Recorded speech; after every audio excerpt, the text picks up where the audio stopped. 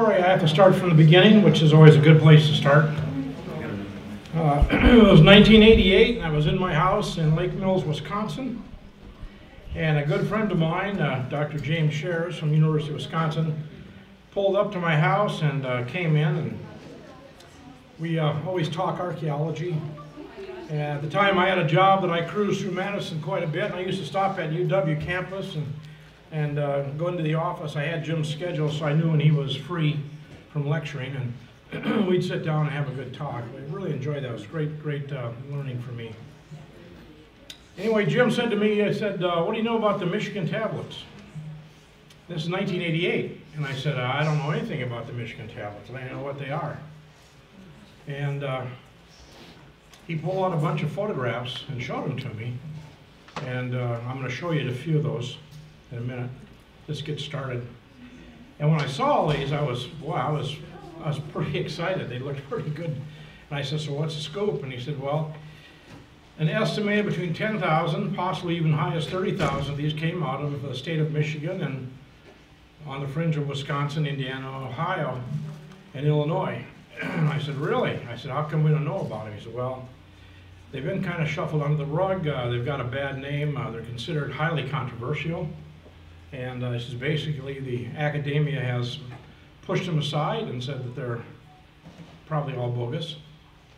And uh, because of the content uh, of some of them, but primarily because it showed contact with the Middle Eastern culture. And of course, what's taught in our schools, as you're all well aware, nobody here before Christopher Columbus. So right away, it flew in the face of academia that someone was here from the Mediterranean, because that means they would have maritime technology, and that wasn't accepted at it either, that uh, we could sail the ocean blue. We could go around the edges, like around Africa, the Egyptians, and maybe into Australia, but not, not cross the Atlantic. Or the Pacific, that was a big no-no in academia. And Powell, John Wesley Powell and Henry Morgan really set the temper for that, which really is with us today. Um, they're really holding fast that the people here are a Stone Age culture. And uh, that's something I definitely, definitely do not agree with. But anyway, it goes on, it persists. So what I'm going to do is just show you a few things here. And Dr. Scherz told me, he says, yeah, he said, uh, the biggest collection of these Michigan artifacts is in your church. And I said, what? He said, yeah. He said, they're in your church. And I thought, well, what, why aren't they showing them? And he said, well, it's because they're considered controversial, et cetera, et cetera. So uh, he said, I want you to, uh, I want you to go after him. And so that began a really a lifelong pursuit for me to really follow up and find out what is all about the Michigan artifacts. Even though I have a lot of information, I don't have the whole story. I have a piece of the story, and that's what I'm going to share with you today. So, uh, having said that, uh, Henriette Mertz, she's really the uh, the hero in this here. She managed to study uh, the plates for quite a long time, and we'll get to her just in a minute. But this is the main thing that really pops up on most of the artifacts. And she coined this as the mystic symbol or mark of the Michigan Mound Builders. Henrietta put that together. And uh, she put a book together, but she died before it got printed. And it was printed seven years later by her nephew, uh, Herbert Mertz, who I guess was heir to all her worldly possessions, which included the book. The book that went out, they only put out 200 copies. I have two first editions. One of them I had to use to reprint this book. And eventually, I bought the uh, copyright from the Mertz family. And now I keep this book alive in Ancient American, and I have it going on continuously available. And uh, actually, we've sold thousands through Barnes & Noble, and just through the pages of Ancient American. So, And I did bring a few along to put out at Mackley's place, and I'm going to offer them to you guys at cost. So if you want to get the story, this is you really need to read Henriette's book. Now, I ran with this guy, and I'm not going to tell you the university. It's in Michigan because he's a good guy. He's still working for me. He told me flat out. He says this is the picture that was taken in his university, and these were these artifacts belong to the university, but they don't know where they are. they can't find them, and I have no reason not to believe him. But they're missing. And so even to this day, he is still looking. I call him about once every 12 months. Any luck? and it's always resounding no. So, uh, you know, there's a good chance they were probably thrown out in the local dump. because by 1920s in that area, this thing was such a hot topic. They were so badly ripped on in the local papers. Many, many collections throughout Michigan in particular, small collections, 10, 15, 20 pieces, whatever, people threw these things away in wholesale to the dump. They just pitched them. So we're lucky to have what we have.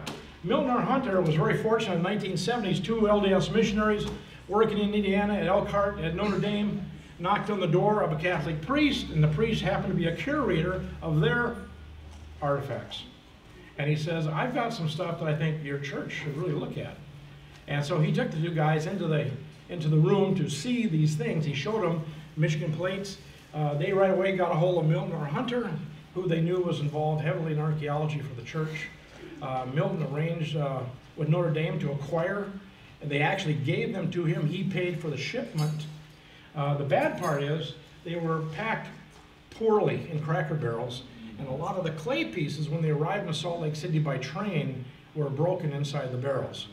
But uh, overall, Milton ended up with about 900 pieces. And I'm just going to show you a few. These are his photographs that he took when he got them. I just want you to see them real quick, kind of get used to them. Again, notice here, here's our mystic symbol. This is a 13-month calendar, which is typical of the Mediterranean cultures. And uh, uh, this uh, probably look, maybe half a shoebox in size. I really, I'm pretty sure it's an ossuary box where you a person would be cremated, and this all his ashes then will be put in here for uh, safekeeping, burial, or whatever you want to do.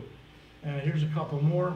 We're going to see a lot of this up here, and I'll explain that in the coming, upcoming slides.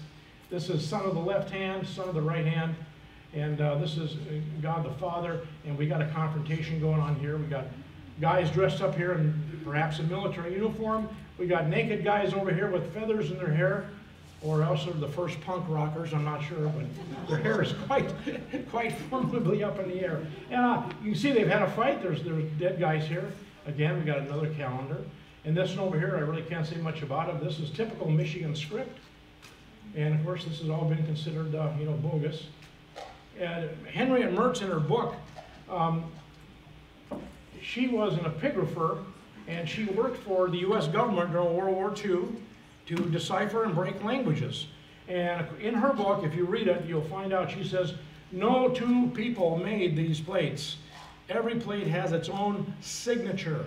And she can even tell if the guy was left-handed or right-handed by the stroke and the characters, the way they're gouged out. So if you read her book, you'll really get pulled in. And again, some look extremely elementary, like this one.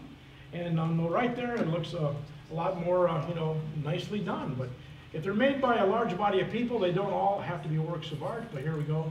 Mystic symbol, mystic symbol. These are Milton's plates in here. Now this next one I'm going to show you, th this is one of the things that really caused a big knockout amongst academics because this really shows not only contact with the Mediterranean, but it shows there is a Christian presence. And that was just too much. I couldn't handle it. Over here, you have spiritual creation. Yod Heva, man's on his back, maybe like he's dormant. Here's the, the birds, quadrupeds, fishes in the water. Here's the uh, eye of God, rays coming down. Uh, this right here represents, I believe, a heavenly family.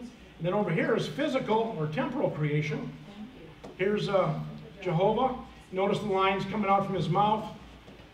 By the words of his mouth everything created, John 1 and 3. All things were made by him. Without him was not anything made that was made. Very, very Christian oriented. But these things were looked upon as uh, extremely troublesome. And I just, just really, really cool stuff. Here's uh, th these pieces I'm going to show you right now real quickly are Henrietta Mertz's collection. Uh, I have her collection, and some of her pieces are up front here. You can look at them later. Uh, just want to show them to you. You all recognize this from the story of Moses, yes? Yes? Okay, pretty nice. And that's the backside, obverse, reverse. Another calendar plate, again, mystic symbol. 13-month calendar, very nicely done. Another one there, got Sphinx, Michigan script. Guys here making some brew. Might be good grape juice, who knows? I doubt it. And uh, again, just, you know, this is, these are the Michigan plates, these are the tablets. And nice little shuttle here. What would that be used for? I have no idea. Say that's a shuttle. They call it a shuttle. Uh, I- Weaving, shuttle, weaving fabric. S-H-U-T-T-E-L E is what Henriette calls it, so I don't know. Is That- that- Is that, is that for, for, You use that for weaving. for weaving? What you wrap, uh, Okay. wrap the stuff on the inside and you throw it across. No, I can see what you're saying. Okay. And she, she, she purely, she called it a shuttle. Henriette called it a shuttle. Now, is that stone? Yeah, so black slate, this is black slate.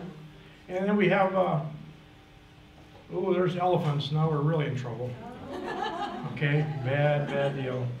Where did this like? Some kind of a funeral procession going, yes, Valerie? Why are the holes there? Like, I know they talked about yesterday, but what's your? It's, I'd say it's made to be attached to a, you know, a post or a, a a wall, a door. It's, it's not to be worn, they're too heavy.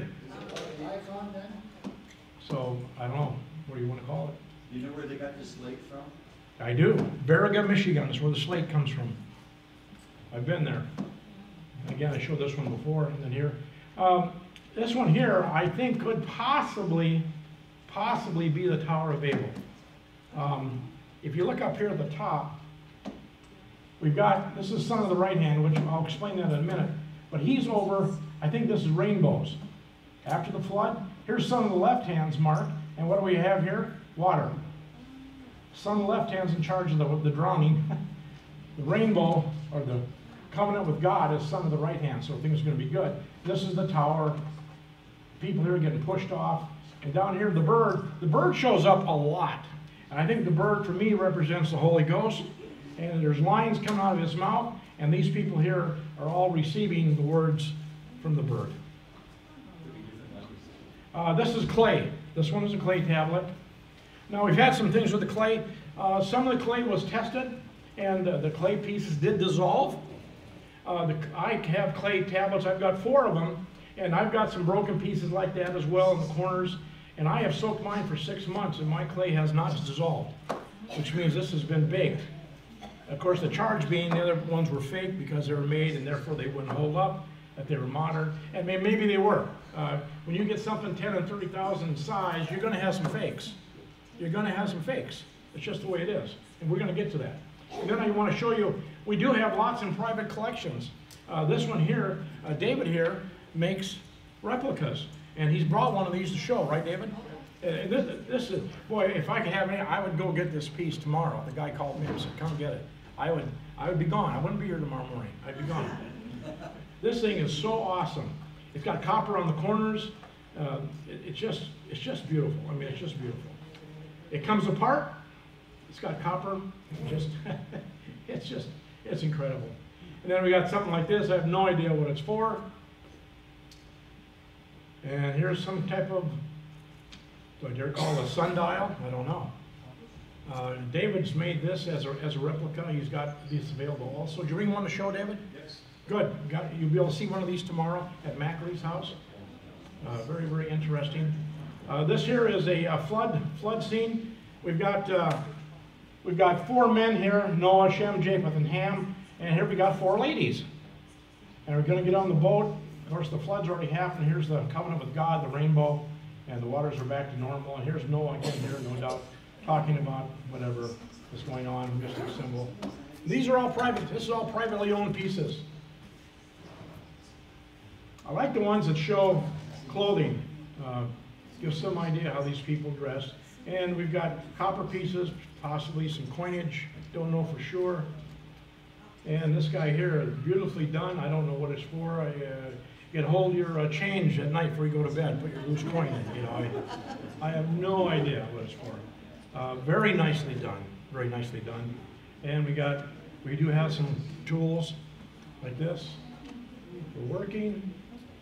And another garden scene, this looks like Adam, serpent. Obviously, they're having a conversation, which we we don't know what it says. Now, with the mystic symbol up here, Henriette and David Deal would come along and they were working on it. And then, of course, Henriette died.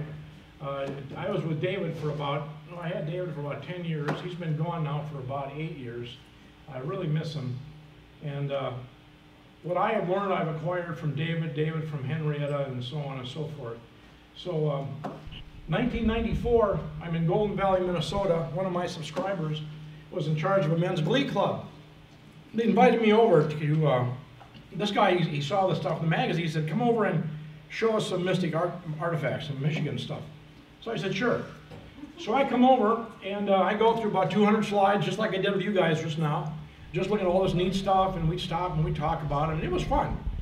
But when I finished, I got done, a Native American walked up to me, and I had a poster up on the wall behind me, and he pointed up to the mystic symbol here, and he said, "That's our stuff." And I'm looking at this guy. He was this guy was big. He was about six three. and I thought, boy, I did something wrong. He's going to get mad at me. And he said, I said, well, what is this? And he says, this is the name of Creator. And I said, can you make the sound? He said, I can. He said, it's Yod, He, Va. Yod, He, Va. And I said, well, that sounds a lot like Jehovah. And he said, well, he said, that's what it is. It's Creator. And uh, we, uh, we use this mark in our ceremonies today because I'm a medicine man out of uh, northern Wisconsin. And uh, he's a Ojibwa. And he put this on to me. So right away, when I got home, I sent off the symbol to an epigrapher that I knew in Utah. I sent one to an epigrapher that I knew in Massachusetts. Massachusetts guy was not a member of the LDS Church. And they both came back with this mark and told me this was indeed a Yod He Va.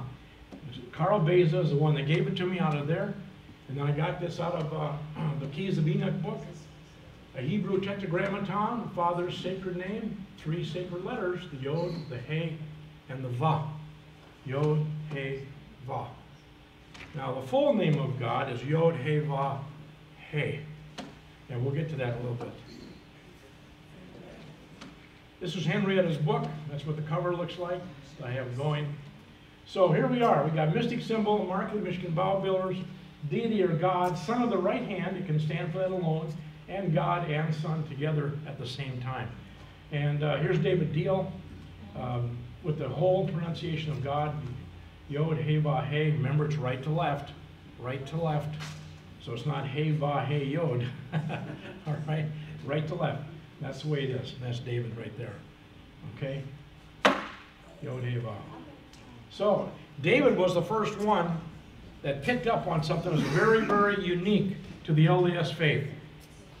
He found out in the Pistis Sophia during the Nicaea Creed between the 3rd and 4th century, and that was being decided which books of Scripture are going to make up our holy record, our Bible. At the time, many of the sects there believed in a good son and a bad son. And at this time, the, those in charge decided that that was blasphemy, that Heavenly Father could not have a bad son. And they struck that out of the record. And then anybody that would teach or practice that could face burning at the stake. It was that serious. It was kept alive by the Egyptian Copts. Otherwise, all this was gone about a good son and a bad son. I mean, it was gone. And what happens to us, of course, the restoration of the gospel in our day, what do we have? We've got the whole story of the good son and bad son. So here's something no one would have known about, you know, in backwoods Michigan to pound this out. That's my point. So there it is. At the level just beneath the Holy Father are two subordinate beings, both sons, both deities, one good, one bad. And these are the signs. Son of the right hand, son of the left hand. One called the lesser, little Sabaoth of the good, son of the right hand. This is Sophia Book 2, chapter 63. There's your reference. Excuse me. And the other deity, the devil, Shemael, evil, son of the left hand, and all the way down. And this is where you find all this stuff. It's out there in this book by the Copts. so I'm going to show you this real quick. This one is a good way to demonstrate it. Um, um, this is the, the whole thing. It's really big, but I'm going to blow this up to you and do one of these sections at a time so you can see better. We're going to start at the top left corner, and we're going to go through each, each individual picture. Okay, you ready? We're going to start at the top left, Yod Heva. Here's the top one. Here we see Creator, Yod Heva, and he's creating Adam in the Garden of Eden, creation tablet. And we got angelic beings looking on. And then we have over here, son of the right hand's Mark. Again, Creator's taking, put, taking- bringing Eve to life, and Adam standing here in the background. Notice we have a waterfalls, like in the Garden of Eden in the background. And he's Now- got a smile. Ah, no, I shouldn't say that. Why, why is Adam smiling? Why is this a woman? How do you know it's a woman? Well, obviously, really, but because Ad- Adam is smiling, that's definitely fact. Okay. Yeah, that's pretty. There's always somebody in the crowd who picks that out. know, Always somebody. That's all right, that's all right. Oh, so here they are eating the uh, forbidden fruit, son of the left hand, you know, not good. Here's son of the right, uh, left hand again, getting kicked out of the garden by Heavenly Father. Cain is killing Abel, and we have to assume this is Abel because he has the shepherd's crook. Okay? And here's uh, Abraham, son of the right hand. Got your goat caught in the thicket. And uh, here's the second plate. Again, I showed this before. Up on top, son of the right hand, son of the left hand. You've been a confrontation. Again, the 13 month calendar. And there's a nice close up. So this, this good son, bad son exists nowhere else in Christendom except with the Copts and Mormons. Nobody else has got it. Nobody. And the mound builders. And the mound builders. There you go. Okay. Milton, R. Hunter, did not live very long once he got a hold of the tablets. When he died, in his will, he willed everything to the Museum of Church Art and History. And I didn't know why until I got to meet the curator much later on. And he told me about the will and its existence. And the will stated that the plates, the Michigan relics, were never to leave the city limits of Salt Lake City. They weren't to leave. And, you know, and the, the anthropology department at the Y wanted the whole collection to come down and they wouldn't ship it. And there wasn't a whole lot of interaction. There was some. But, uh, so they stayed put. For some reason, Milton didn't want them to go to BYU at the, at the anthropology department. So there was some friction there, and I don't know what it is. But these guys here are only concerned with the beginning of the church in 1830. And so to house this collection for them was a waste of space, and it was something they really didn't want to do. They only wanted 1830 and forward. That's all they wanted. But Milton gave it to them. So you can ponder on that. So in spring of 96, after taking me, it took me, well, let's see, 88, uh, we're talking, uh, what, two, eight years. Took me eight years to finally get into the warehouse because I was hitting the wrong people to hit the right button, you know, to get into the warehouse. anyway, I finally got in. This is Dr. Glenn Leonard, really a nice guy, fine, fine man. This is Michael Smith, uh, his second in command. And these are the racks. There's one, two, three, four, five, six, seven racks. They're four feet across and they're eight feet and eight feet, so they're 16 feet long. And that housed all the Michigan relics that they had in storage. And uh, the bad thing is that the plates were sat, sitting down there and they were stacked up two on top, one on top of the other, and they were getting scratched and they weren't really taken care of. But again, they didn't want them, but they took them because they were willed by, by Milton. So um, when I went in and talked to Brother Leonard, he asked me a very unusual question. He said, he said, Brother May, he said, how did you know that these artifacts were here in this warehouse? At first I thought, that's kind of a funny question. And then I realized, I said, the answer was, in my mind, I told him straight out, I said, the only people that don't know these artifacts are here are members of this church. People in the Midwest are thinking we're hiding something because they're not on display. I said, Glenn, I said, put them on display. Do something. Show them. Let people see them. And this controversy will go away. Just, just put them out there. Well, unfortunately, that didn't happen. The controversy kept growing and growing and growing, of course, until finally they, they got shipped, and we'll get that in a minute. This is, uh, this is Jim Scherz, my good friend. This is Milton, R. Hunter's daughter. And uh, again, this is Glenn. A couple, this is, um, oh gee, I haven't said his name in years. Uh, I'll think of it in a minute. But it's him and his son. And uh, again, just showing some shots here of the, of the racks. Th- This is all copper here, all copper. Swords, right? Oh, yeah. Was it Jeff Garth? The- Look at the pipes. There must be, there had to be at least 50 pipes, all beautifully carved. I mean, they're really cool pipes.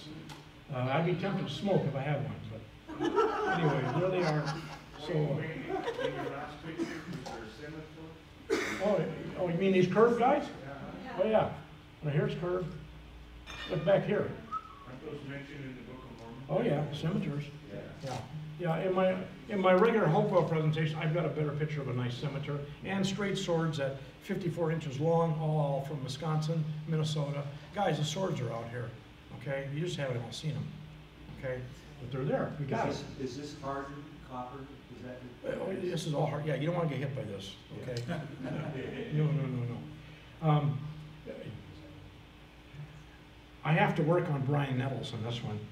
He tells me this one here, he thinks this one's bogus, which it could be, but it happens to be my favorite piece, doggone it. It's, red slate. It's beautifully done. I mean, I love this piece. Matter of fact, I told Glenn Leonard, I, I picked out five pieces. I said, at this time, they, they were slated to go to Michigan to be given back.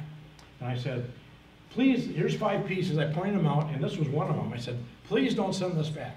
Put it in the church archives, hang on to it, keep it. That was my favorite piece. And you know what? Ryan Fisher, my tour guide partner, uh, he got in over there and he saw, he said he saw everything. Well, if, if that's the case, if he really did see everything, this piece is not there. So they kept a few back, but I, I can't verify that. But that has not been seen since here in the warehouse. And, uh, yeah, that's pretty cool.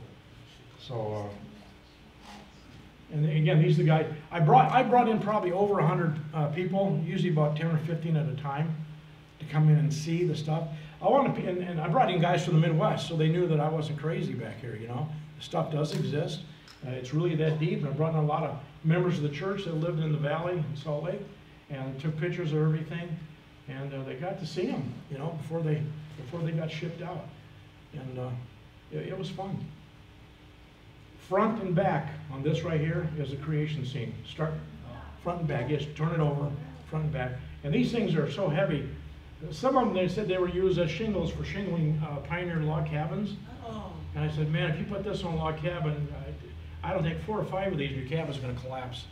I mean, they, they, they didn't have any way to support, this is weight.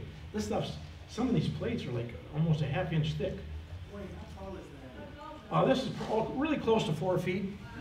Yeah, it's, it's quite, very nicely done. I mean, I wish I had better photos of it. Uh, time was limited. This is, uh, uh, Jeff Garf and, and Ron Garf, they did a lot of work on them.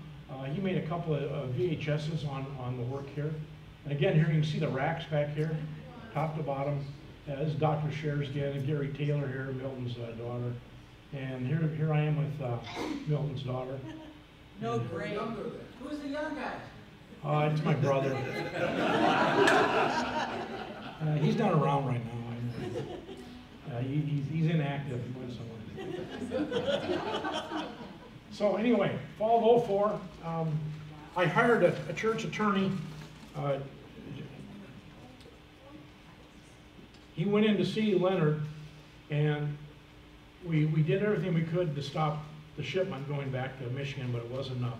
We had to have a place for them to go in the, state of Utah, and we just didn't, couldn't find a place that could house them. And, uh, so we were considered, I don't know how serious a consideration it was, but we were considered, but, uh, we, we fell short.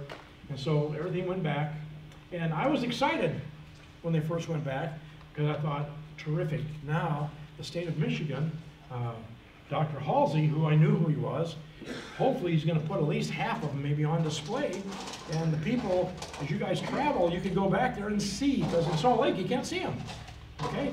So I was excited about that, so in this magazine, right here, this is one, this is my actual issue, I wrote back, Michigan's controversial tablets go home. And then, and then down here in the yellow, in any case, we are grateful to the state of Michigan and Dr. John Halsey for preserving them and making them available once again to the general public. Because I talked to John, he said, yeah, we're gonna put them on display, that's all he said. Wonderful. Well, about four magazines later, he put his response out. And I gotta tell you, it wasn't nice. And I got thoroughly ticked off. You can read here. All demonstrably modern fakes. What's so special? First relics were discovered in Montcalm, Michigan in 1890. I'm telling you right now, folks, that is a bold-faced lie. And I'm gonna prove it to you today. 1890, and these guys, they have stuck with that date. The archaeologists of Wisconsin, Illinois, Indiana, Ohio, and Michigan. And, and my friend Dr. Scherz, we call it, we call it the Michigan cartel. These guys hate the Michigan artifacts, and we have been fighting these guys since the 80s. And Jim started in the 70s. And we're just telling it the way it is, okay? Now, I'll tell you how bad it is in a minute. Anyway, they're talking about 1890, the sign painter Scotford consisted mostly of burned crudely modeled clay boxes. Well, that's not true. There was more black slate than clay, but it was just one thing after another. And so when he put them on display in Michigan, he put them on display for about four months, maybe five. And this is his actual sign that went up. And notice at the top, 1890, Scotford discovers the clay cup. And for him, that is the start to 1919, and that tells the entire story of the Michigan artifact. I'm here to tell you, folks, it just isn't so. And I'm going to show it. I'm going to prove it to you. Where, where did they come up with the eighteen ninety? How did that happen? That's when, that's when Scotford dug up the clay cup. Uh, Okay, now look at this. Book of Mormon Central, BYU Studies stepped right in with the state of Michigan making these claims. Spent 30 years planning fake artifacts. Scotford's now run around Michigan planning artifacts for 30 years. Think about it, 10 to 30,000 pieces. Artifacts were produced, buried, discovered, and marketed by the Scotfords. Right there, 1890 and 1919. Walking in lockstep, both groups with state of Michigan. It's absolutely disgusting. Here is Dorothy Hayden and Lois Benedict. They worked on the plates way before Deal got involved and way before I got involved. These are the counties that they had positive identification where artifacts were found. So now think of the Scotfords. They're running around burying 10,000 plus artifacts before 1890, right? That's the claim. And they're going to go dig them all up. That's the claim. And they're going to sell them all. Let's just go on. The question is, what happened to these years, which I'm going to show you? 1812, 46, 56, the 60s, and the 70s, all ignored completely by Dr. Halsey. I mean, completely. He said the Scotfords did all the digging. Well, check out this picture right here. This guy's Charles Allen. He dug up the plates here. This is Father Savage. This is Senator Soper. There's no Scotford here. Where's the Scotford name? Doesn't exist. And he's not alone. There was many. Campbell's Flood, 1856. We've got Michigan artifacts coming off the St. Lawrence in Canada. I've never even seen them. I called the curator up here, Toronto. I couldn't even get in because I'm not a PhD. She told me straight out, can't see them. They're fake anyway. Why do you want to do it? I mean, terrible treatment. I couldn't even get in. I couldn't even get in. 1856. That's his tablet he worked on. It's a flood tablet. And I like this one here too. Publication called Relics of the American Mound Builders by John Campbell, professor of the Presbyterian College of Montreal. The book describes his analysis of some Michigan artifacts, including a deluge tablet with similar script as the Michigan artifacts. He compares the language to a stone found on Monhegan Island off the coast of Maine. The stone is covered on both sides with the same cuneiform looking language of the Michigan artifacts, along with the mystic symbol. The Monhegan Island stone is documented as being first studied in 1856, roughly 34 years before the 1890 Soper Savage items started to appear. I view this information as monumental for the veracity of the Michigan artifacts reference noted. Mouth of the St. Lawrence, just south of there, you'll find Monhegan Island, and you'll find this. And why would that be there? Because it's a billboard to those who are coming across the Atlantic Ocean. This is where we are. This is where you turn in. This is our tributary. Come in here and you will find us. These are signs. Look at this one. Hamlin, next guy. His find was preceded by the first ever reference to an engraved example of the mysterious script in 1898 by A. Cameron, president of the Summer School of Science for the Atlantic provinces of Canada. That stone also on Monhegan Island has been known since 1812. The upper line of the inscription found in 1856 is the same as the old one. The 1856 inscription near the shore lay about one mile southwest of where the first one was found in 1812. Both have since been lost, although at least a faithful copy of the 1856 inscription was published and reference given. And we're looking at 78 years. 78 years before the Scotfords showed up. Why didn't Dr. Halsey talk about this? That's my question. He has no answer. He has no answer. Worth. We don't know. He was a traveling tinker, a handyman. We're not sure what he did, but he was all over Michigan. And by 1860, when the Civil War broke out, he's in New York City with a horse and pony show showing Michigan artifacts to make a living. People get in his wagon, walk through, see the Michigan artifacts. I don't know what they paid him. You know, two pennies, nickel, dime, whatever. And then he ends up moving out there. He, built his own museum, and unfortunately caught fire, and everything was destroyed except for about five pieces, which were recovered eventually by Philip Shupp of Chicago. Now this is where Henrietta comes in. He was a judge. He knew about Henrietta's credentials. He hired her. He said, I really like these things, but I got to know if they're fake or are they real. And he hired Henrietta and gave her the task. And the result of her book is her work to show Shupp. And at the end of her book, she will tell you straight out, she was convinced that these things were authentic. Not without some dabbling, but they are authentic. State of Michigan, every state usually puts out an almanac at the end of the year, you know, boasting about their state, what they do, gross revenue sales, our industry. And look down here, 1869. They make a bold statement. The Michigan relatives are here, mentioned 1869. Well, that's not 1890. That's 1869. How did Halsey miss this?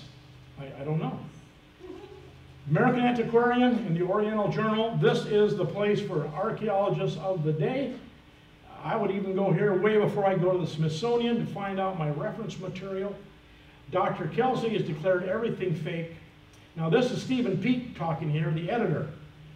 Highly respected.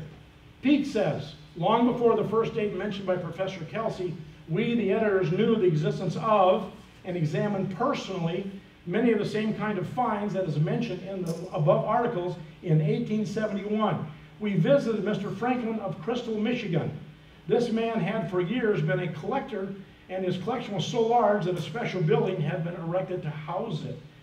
Slate tablets of the flood, axes, knives, spearheads, copper coins, caskets, incense burners, pipes, figurines, idols, all marked with a cuneiform script, mystic symbol. What do you think, people? What do you think? And then this guy here, Peet just makes a comment in 1885. This guy finds a box of tools. They're building a, a new uh, lighthouse for the United States up on the lake, and he found all these hardened copper tools. And he talks about the big saw that was 20 inches long and everything else. All these tools were found in a great big wooden box when they broke ground to build this tower. Stuff just popping up all over the place. And here's a saw. Thought you want to see it. See the handle grip on the end? Hardened copper saws. Can Cuneiform script. In Michigan, any other cuneiform find? Yeah. We got it coming out of Ohio. This was declared to be authentic by Cornell University out of New York. Professor David Owen did the work on it. 2000 BC. What in the world is it doing in Wisconsin? I should say, excuse me, in, in um, the east. The point is of Ohio. The point is to dissuade you of this. The claim is that this guy went on a trip to the Middle East, and when he went hunting, this was his good luck charm. It's in his pocket.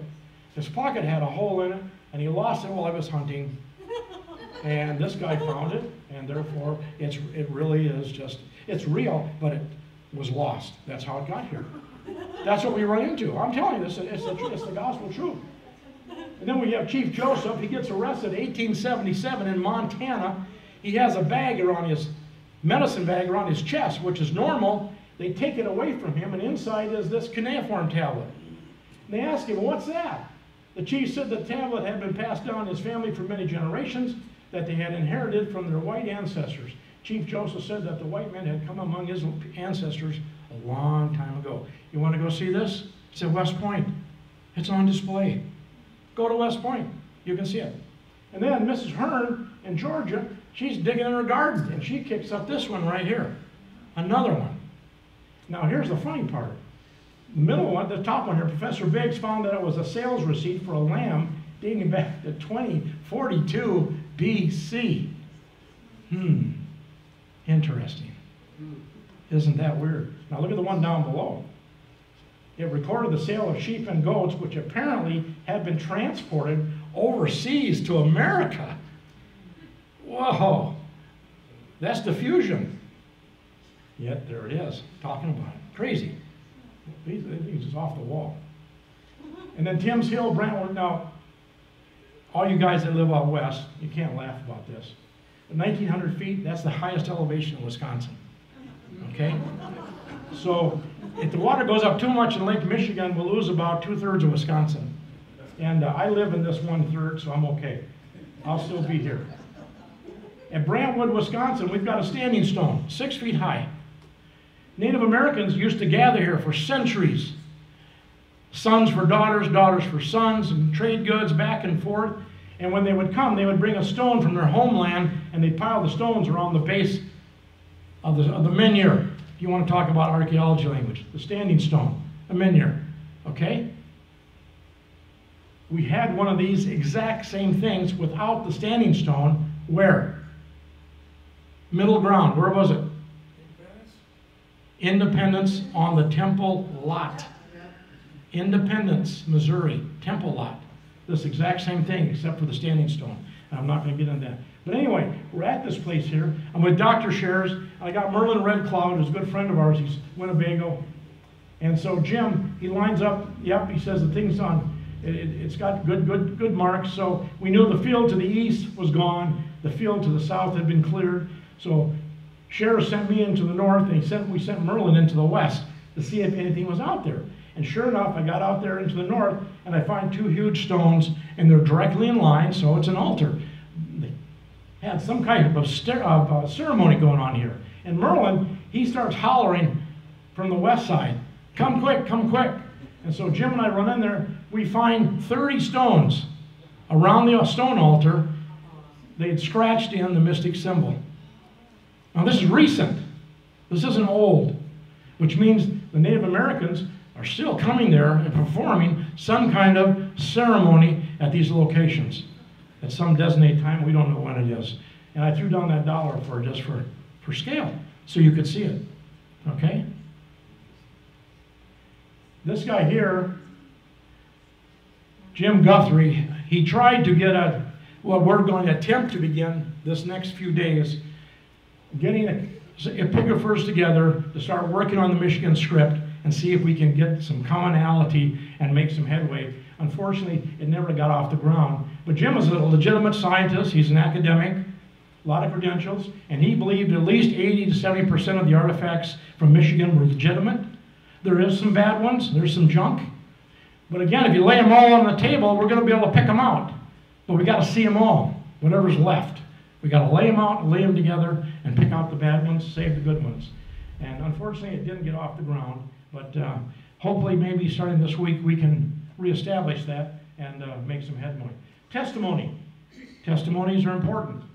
And we got a really good one here for the Scotfords. Scotfords did not get along with his daughter.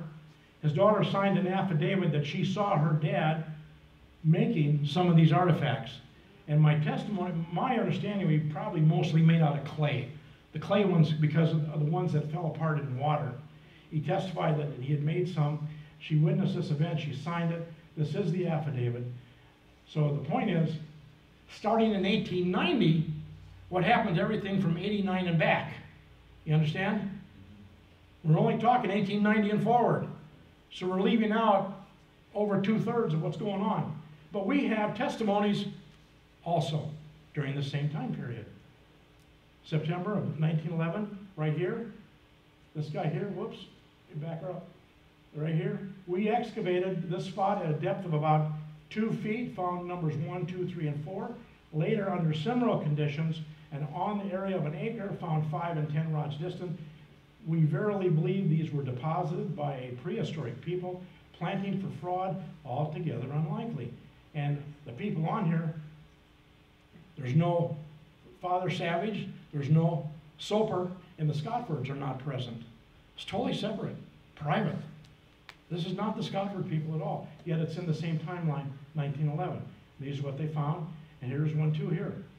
Found smaller one where I had Emily thrown it out of the mark in Michigan tablet.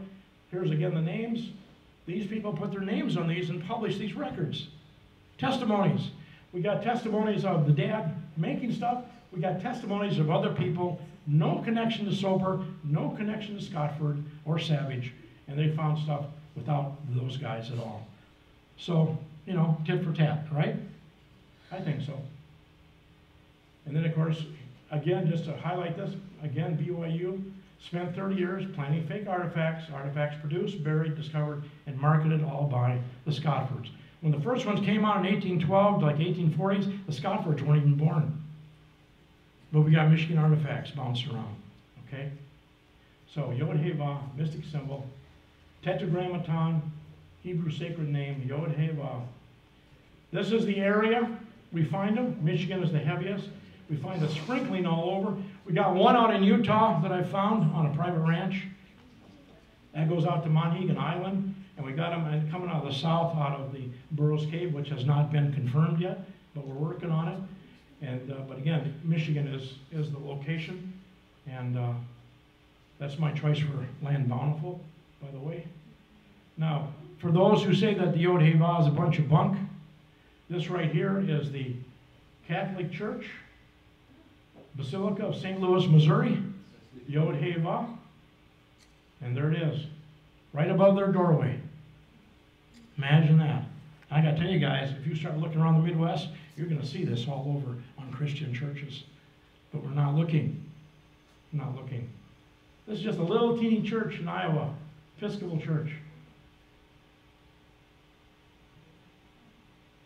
Okay? And this is, this is a real killer. St. Paul's Cathedral, New York City, this is where George Washington went to church. And many, many of our leaders have been there ever since. And I'm going to show you what's inside. I'm going to run out a bunch of photos and then we'll connect them. These are the hot spots. Okay, ready? Incense burner on a table buried in sand. This is a Christian church. Tablets from Mount Sinai, Moses. Sunburst, Yod Heh Vav He. And then the all-seeing eye. Up on top, Yod Heh Vav He. This is St. Paul's Cathedral in New York City. Still in use today by a good Christian group. With all this Hebrew stuff. And down here, a full Torah is sitting inside. A full Torah. Judeo-Christianity at its best. I, I don't know what to say, but there it is. Isn't that wild? Okay, final remarks. This is my Michigan Relics timeline. This is what blows me away. 1812 to 1889, Dr. Halsey says he has no knowledge of anything before 1890. And I, what I've dug out, it just took me uh, a couple weeks, and I'm sure there's more. I didn't want to find any more. I don't need any more. 77 years public record. It's in the public record. Anybody can find it. 19 years over there. So he's chucked the entire Michigan collection based on 19 years and skipped everything here. You understand? This has all been skipped, ignored, passed over. I can only say one thing. It's a deliberate cover-up. I don't know what else to say. It's really sad that we have to treat this stuff this way. Yeah, there's fakes in here, but let's lay them out on the table, let's sort them out, and we'll find the real ones from the bad ones. That's what I think. Now, here's logistics that you needed if Scotfords had done this, okay? Cross Lake Huron, because the slate is from Baraga, that's where the mine is. Copper is from the Keweenaw, so they got to go up and mine all the copper. Cross Lake, Michigan also construct burials in mounds of 27 counties. manufacture 10,000 plus artifacts, clay, slate, copper, with accuracy, find human bones to accompany some of the burials, they're not all cremations, some poor fellows. Fakers must know at least three ancient scripts, hieroglyphics, Assyrian, and cuneiform, because there's a mixture. They can't just put out mumbo jumbo marks, they gotta be the real characters if you're gonna pull it off. Create mounds without being seen before 1846. Avoid being killed by Native Americans. They're here so early, the Indians here are pretty hostile yet. All right? Avoid multiple testimonials from many settlers who are digging up artifacts. Oh, you didn't find that? No, just forget that. Put it back. Ignore Native American oral history. That's not going to go over good. Inform Native Americans they are wrong about their history. Uphold a paradigm no contact across the ocean until 1492. And ancients had no maritime technology. This is what they would have to do to make all that stuff legit. I mean, it's crazy. Just crazy.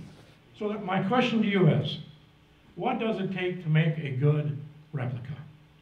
What does it take? It takes one good, authentic artifact. And then you can make your copies. The Michigan tablets, in my estimation, are as real as we are sitting here. There are bad ones. Scotford's did make some junk. But we can find them if we could put them all in one spot and set some of you guys in a pigrapher on them and go after them. So, as always, I report, you decide.